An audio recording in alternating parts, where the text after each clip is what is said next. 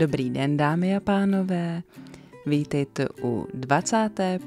epizody podcastu Learncheck Online. Zdraví vás Jana z ilearncheck.com a dnes budu pokračovat v tématu vzdělání. Minule jsem mluvila obecně o tom, jaké školy máme v České republice a dnes vám řeknu, jak jsem vzdělávacím systémem prošla já. Respektive začnu o tom mluvit. Jestli se vám moje podcasty líbí, tak budu moc ráda, když mě podpoříte na Patreonu, stanete se mými patrony na www.patreon.com lomeno iLearnCheck, případně v popisu podcastu najdete odkaz na jiný způsob, jak mě můžete podpořit. Za vaši podporu jsem vám moc vděčná. Dobrý den, dámy a pánové. Vítejte u dalšího dílu podcastu Learncheck Online. A stejně jako minule je naším dnešním tématem vzdělání. A později se ještě dostaneme k práci. Takže já jsem vám minule představila systém vzdělávání v České republice a dnes bych vám řekla, jak jsem jím prošla já. Tak nejprve jsem chodila do školky. Nechodila jsem do jesliček nebo do jeslí, tam chodí, no tam asi nechodí, ale tam jsou nošeny, voženy eh, malé děti, kterým je méně než tři roky. Když maminky potřebují pracovat a nemají například babičky nebo chůvy, které by se o děti staraly, tak eh, můžou dát děti do jeslí. Od tří do šesti let chodí děti do mateřské školy, nebo se tomu obvykle říká školka. Tam si hrajou a také už se možná něco málo učí, eh, nějaké rostlinky nebo zvířátka, ale ještě to není tak, že by museli sedět v lavicích a dávat pozor a psát si a tak dále. Psát se učí až potom na základní škole, takže já jsem nejprve chodila, teď už nevím, dva nebo tři roky, jestli se nepletu, do školky.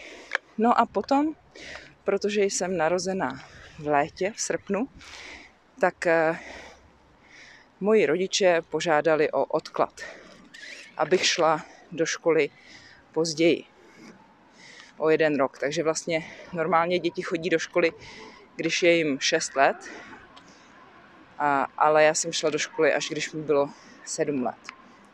Chodila jsem na jednu základní školu od první do čtvrté třídy.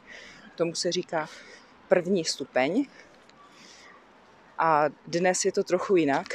Dnes, jestli se nepletu, se na, do prvního stupně počítá také pátá třída. Takže do 11 let chodí děti na první stupeň a tam mají obvykle jenom jednu svoji paní učitelku nebo pana učitele. I když je možné, že na některé předměty už můžou mít také občas nějakého jiného učitele. A učí se tam psát, číst, počítat, mají matematiku, český jazyk, mají prvouku, kde jsou základy přírodních věd, také mají výtvarnou výchovu, nějaké kreslení, malování, mají hudební výchovu, kde zpívají nebo se učí něco o notách, o rytmu například. Také mají tělocvik neboli tělesnou výchovu, aby pořád neseděli na zadku.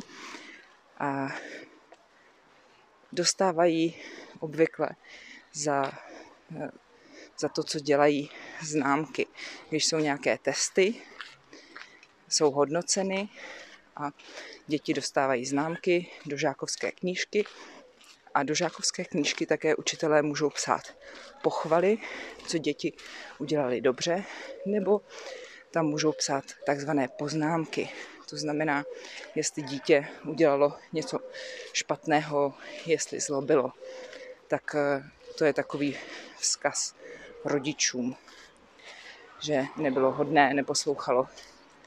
A nebo tam také můžou učitelé psát informace pro rodiče, kdy například bude nějaký výlet, nebo se půjde do divadla, a, nebo co potřebují přinést do školy a podobně.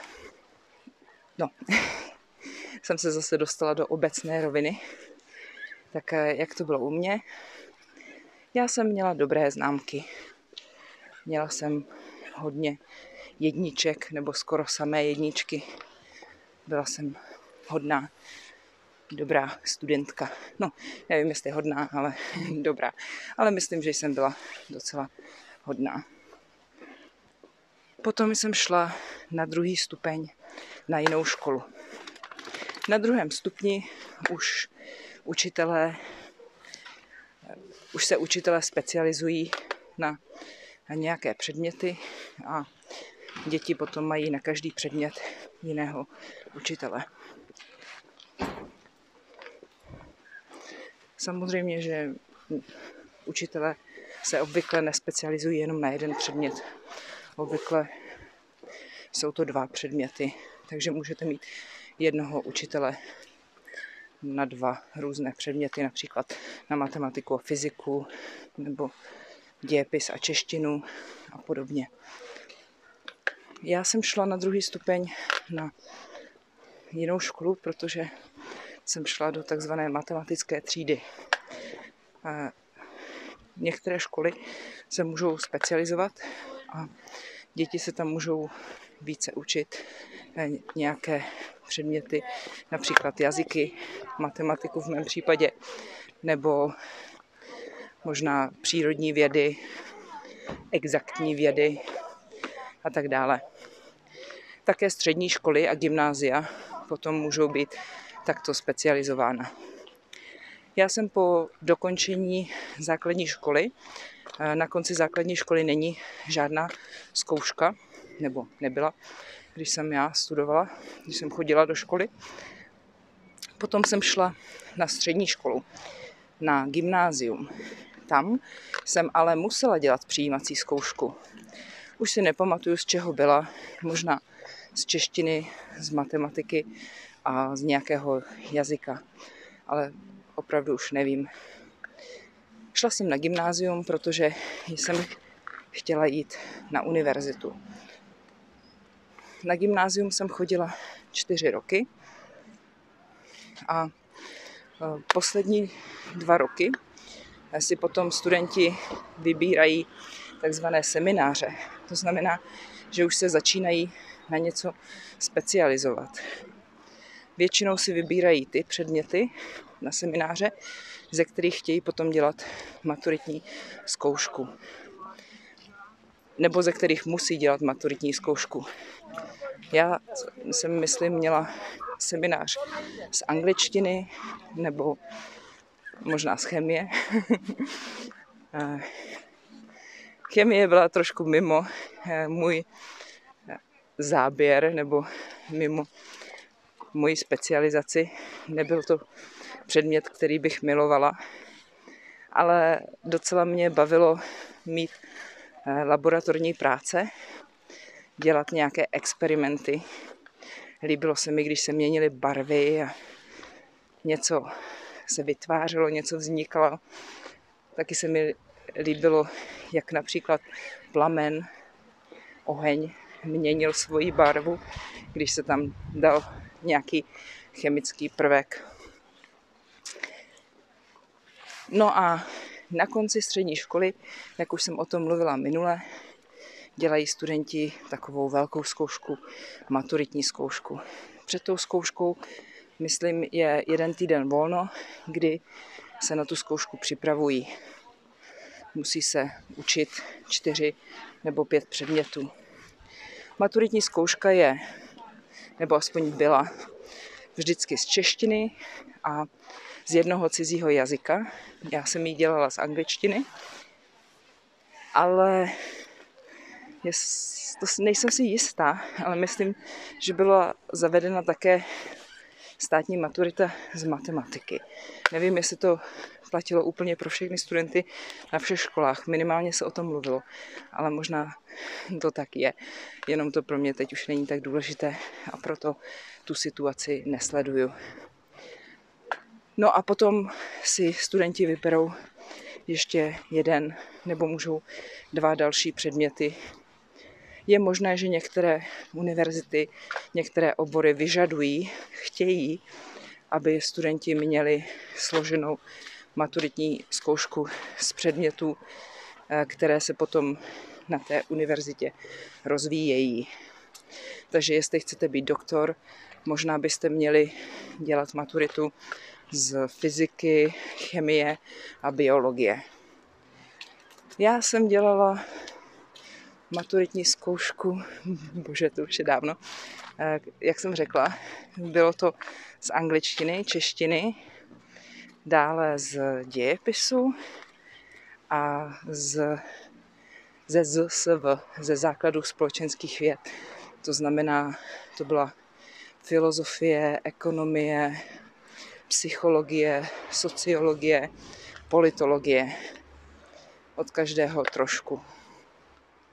No a kromě toho jsem dělala taky ještě maturitu z chemie. To byl takový plán B, kdybych se náhodou nedostala na žádnou jinou školu, tak bych šla studovat asi na VŠHT chemický obor, ale nakonec to tak nedopadlo.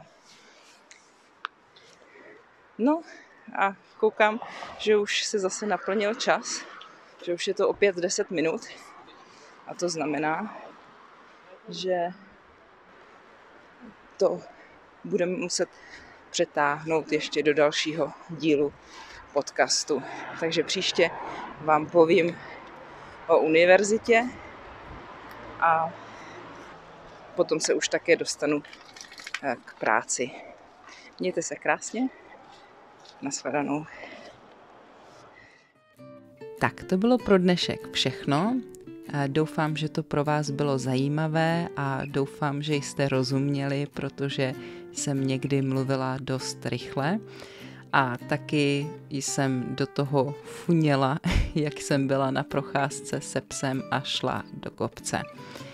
Takže příště budu mluvit o tom, jak jsem studovala na univerzitě, na vysoké škole. Mějte se krásně, nashledanou.